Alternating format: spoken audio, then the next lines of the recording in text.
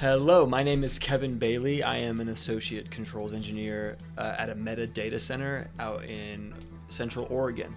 What I do in my job is I am a commissioner, so I go through and make sure the automation works for the data center.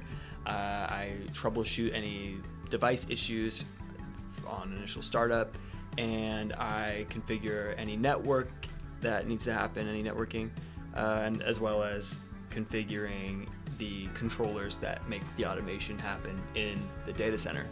Uh, what's important for my job is not necessarily what I know, although that is important, but knowing how to find solutions to problems because it being such a varied position, meaning there's so many different things you can do day to day. You know, you might be working with different valves one day, you might be working with different networking equipment the other day.